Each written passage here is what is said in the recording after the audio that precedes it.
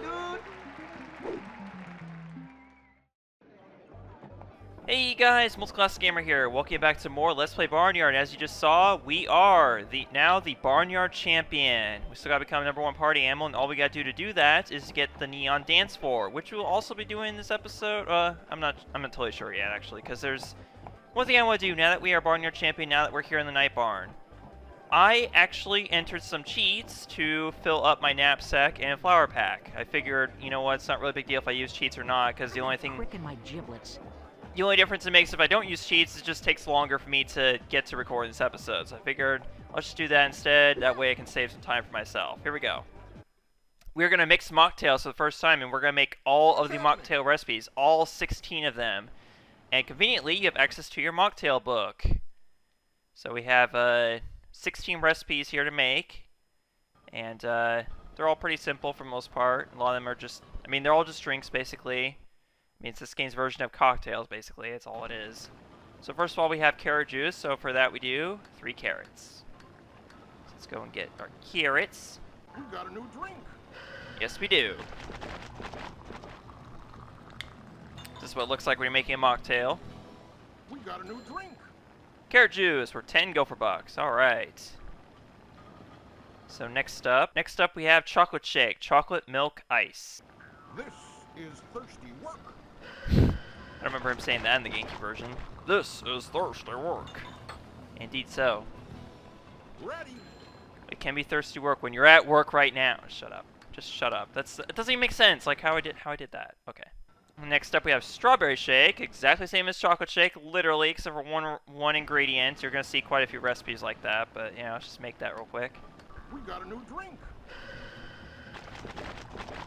All right, let's make that strawberry shake. Ready. It's also worth 10 gopher bucks. I'm guessing every, every pro- honestly probably every one of these mocktails is gonna be worth like 10 gopher bucks, which is pretty lame. I'd expect some of them to be worth more. Okay, next up we have two very simple, simple, simple, simple, simple. Well, actually, three very simple mocktails. Louis, just three of the same exact ingredients. So first apples, then melons, then ice. All right. We got a new drink.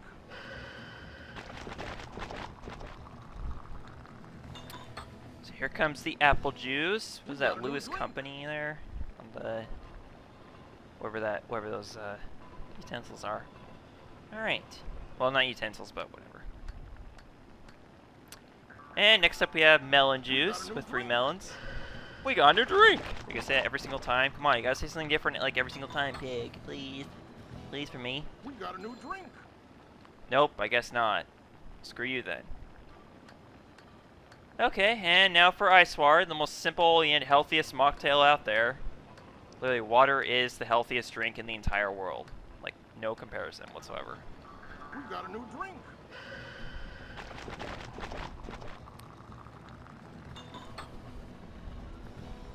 Ready. I figured at this point also I shouldn't have to explain like how to get any of these ingredients. We should know by now like how to get every single ingredient literally in the entire game. So that shouldn't be an issue at all for anyone. All right. Here we go. Yeah, I'm so sick and tired of like of like rolling the Wii remote to the side like all the time just to pick just to change like pick the recipes and sometimes it's very selective on whether it even counts. Like sometimes like I'll be just holding it slightly to the right like casually and it'll turn. But sometimes if I jerk it to the right, like turn it to the right, it won't react at all. So it's just so annoying. So whenever you can use that control stick on the nunchuck, do it. Alright, so next up we have hot chocolate. This is a very, another famous uh, recipe that everyone knows. Alright, milk chocolate honey. Is that right? Yes, it is. Just want to make We sure. got a new drink. Now, if you ever use a combination that does not um, result in any a ingredients, like any any combination that doesn't it doesn't uh, that the game doesn't recognize, you'll get slops. Basically, it's worth one gopher buck, and uh, that's pretty much it. It's just uh, this game's version mistake, basically. So there's that. If you want to make that as well, I guess we'll make that too. I, I don't know if it's displayed on the uh, milk bar. I would hope not, because I don't. Because we all know nobody will want to drink that except for pigs. There's your hot chocolate. Worth 40 gopher bucks. That's pretty good, actually. Next up, we have Cherry Delight. Cherry Milk Honey. Let's get it.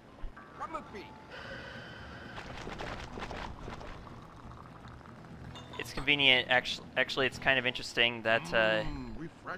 I'm actually having a couple drinks while recording this episode. I figured, hey, we're making mocktails. I may as well have some myself. I mean, like, not like cocktails, obviously. I'm just having a beer, but still. Next up, we have Fruit Mocktail. Strawberry Cherry Mealing. We got a new drink. Alright, so here's a strawberry, or our Fruit Mocktail. We got a new Fruit. drink. Fruit Mocktail. Yeah, Fruit Mocktail. I said it right the first time. Come on. the Fruit mocktails worth 10 gopher bucks. Alright. Next up, we have Apple Cider. Apple Apple Ice. This one's a favorite. I'm sure this one will be will fetch quite a few gopher bucks. Or probably not, because it's uh, these ingredients are pretty simple to get, actually. a new drink. So maybe we'll wait until a later episode to do number one party ammo. I just don't feel like doing both those things in the exact same episodes. You know, I just want to kind of have like some variation. So I want to leave time to get to take on like a like the next mission in this episode, basically. Lemon ice honey. Come with me. So I combine lemon ice and honey. We get Ready. lemonade. Good stuff. Good stuff. 50 gopher bucks too. Jeez. I mean, it's not surprising that lemonade would be this expensive. I mean, I was just at the I went to the state fair a few weeks ago, or actually a couple months ago at this point, and uh, I had a cup of lemonade there. Was, and they charged 450, I think, for it. Like 450 for a cup of lemonade. Like seriously, how how can lemonade be that expensive? I, I just don't. This is thirsty work. Melon, honey, and milk. You can find those three to get We got a new drink. melon or honey melon magic for 30 gopher bucks. Good stuff. Next up, we have iced lemon tea, combining le- two uh, two lemons and ice. Let- Let's get that. We got a new drink.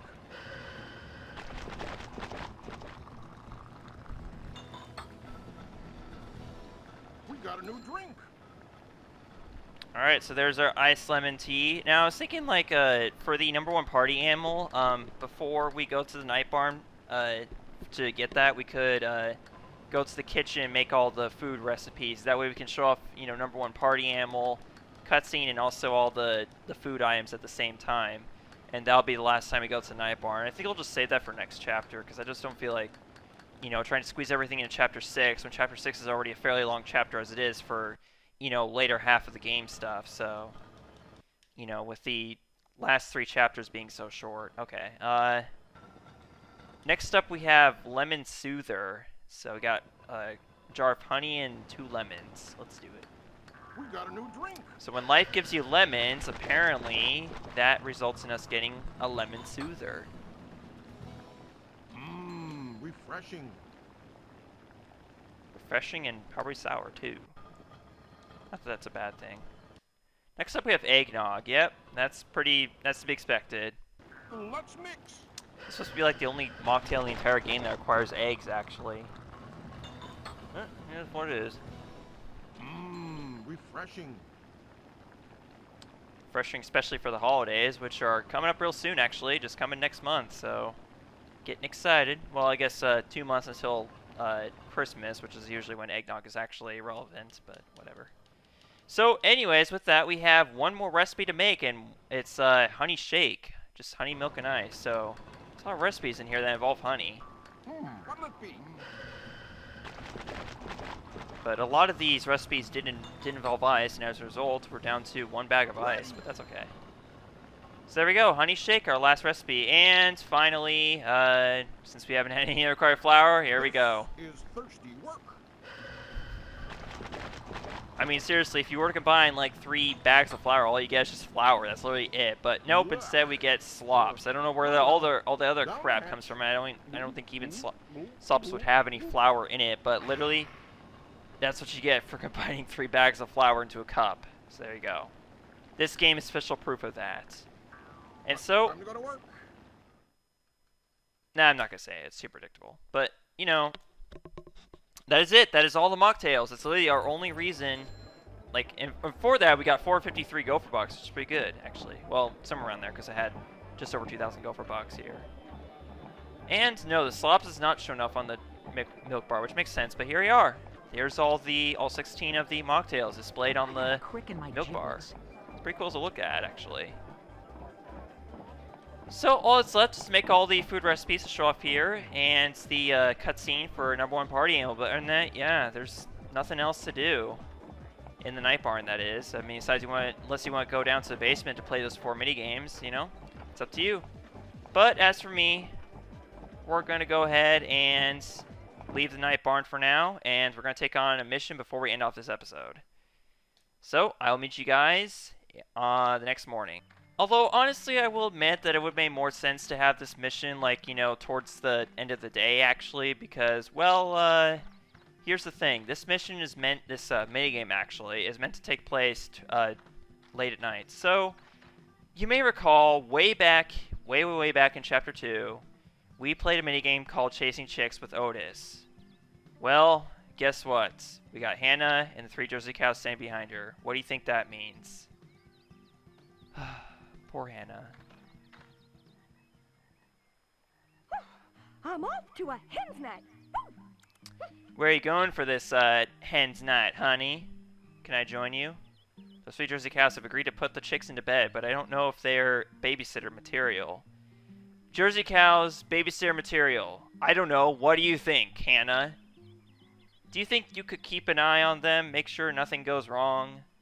As in, do their job for them? So basically my strategy is exactly the same here. I mean, like, it's annoying. It's a little more annoying because there's three uh, bulls to watch out for instead of one. But it's not much more difficult than the last time you played it.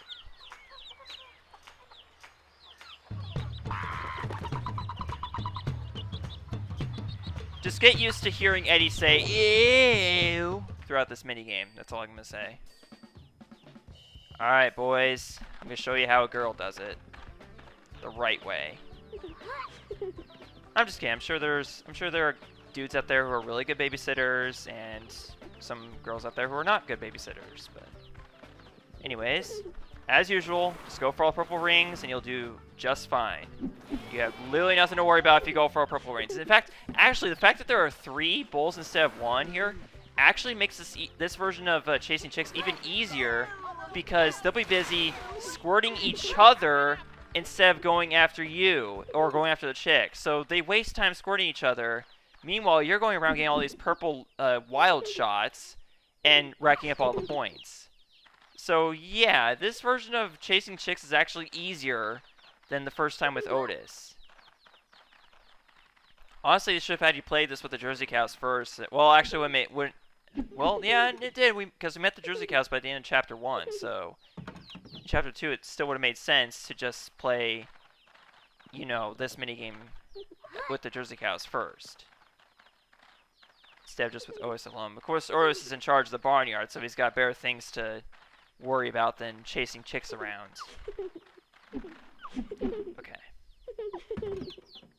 Now, what's annoying, though, is that the wild shots will often be um, as far away from you as they can be from where you pick up the chick. Like, it's the location where these purple rings appear are proportionate to where you pick up the chick, I guess, I suppose. Like, the wherever you pick up the chick, they're just going to be the, the two rings that are furthest away from you, which isn't always the case, because you can see there, a purple ring just appeared right next to me, so I don't know what the what exactly the mechanics are for how the purple rings appear, but whatever. As long as we get the high highest amount of points as possible, we'll we'll be good. I mean, like I'll try to get 200, but we'll see because we're already down to one quarter a quarter of our time here. But we'll see. We'll have to make three more shots in order to get 200, so we might have a good shot here. Of course, uh, oh, okay. Yeah, I'm just gonna get away from them. You guys can go ahead and just score each other all you want. Meanwhile, I'm gonna be over here getting my 160 points. Oh, oopsie. There we go. Okay, let's see if we can get 180. I don't know at this point because we're running out chicks and they're all over here. And nope, it's 160. Whatever. I'm pretty sure it's still star material. So Iggy won out of all the Jersey cows. Yep, that's a star. Okay. That's to be expected. In fact, actually, I think uh, 100 is the star, is all you have to get to get a star. Okay. There you have it. Otis is better than the Jersey Cows, but, uh, we are better than all of them.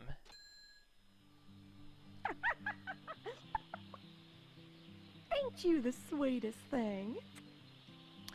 I knew you were the best with children. Anytime, Well, Hannah. Goodbye then. And for that, we get 150 Gopher Bucks, as per usual. So that leaves us at 2,600 Gopher Bucks. Which, uh, actually, I'm going to use them for something else. Uh, probably... Some of you might be able to guess what I'm talking about here, some of you might not be. But either way, um, it's getting late, and our next mission actually happens to be... Well, actually, one of the next two missions has to be at night. happens to be at nighttime. Uh, one of them is going to be during the day, though, with uh, Miles here. And we'll see what that is. But first things first, we're going to be doing the uh, Jersey Cows in the Night Barn. And you can probably guess what that is. Uh, it should be very, very super, super, super, super, super obvious at this point. So we'll be doing that first next time. And then after that, we'll go see what Miles wants. So, see you guys there. Thanks so much for watching. Goodbye. Hey everyone, thanks for watching this episode of Barnyard. I'd like to give a shout out to currently my only patron, Jose Cazares. If you'd like to have your channel featured here or see episodes ahead of time, follow the Patreon link below for more details. If you like what you see, be sure to subscribe and click the bell to be notified of new episodes. Tune in tomorrow for another video.